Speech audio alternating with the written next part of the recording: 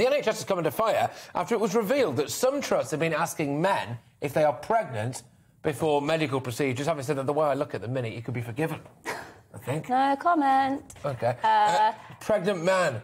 Pregnant man yeah, That's emojis. the pregnant man emoji we're just showing uh, there, uh, which is very obviously bizarre. Uh, I'm not having anybody convince me otherwise. Anyway, the move is in line with official government procedures, which have seen terms like pregnant women be replaced with the gender neutral term pregnant people. Classic. Asking men is not a national public policy designed by NHS England, but it is down to individual trusts to decide. Well, I just don't understand it. So what? Sorry. So they they now basically you can imagine, can't you? Like Keith, Keith the plumber goes into hospital. You know, really, really hairy back, big guy, bulldog tattoos on his hands. You know what I mean? They try to shove him into an MRI machine. They go, "Sorry, Keith, we've just got to ask this: Are you pregnant?"